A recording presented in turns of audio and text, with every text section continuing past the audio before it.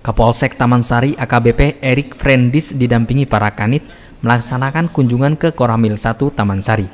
Kunjungan tersebut bertujuan untuk lebih mensoliditaskan antara kepolisian dan TNI, dan juga sekaligus untuk koordinasi pengamanan menjelang Natal dan Tahun Baru.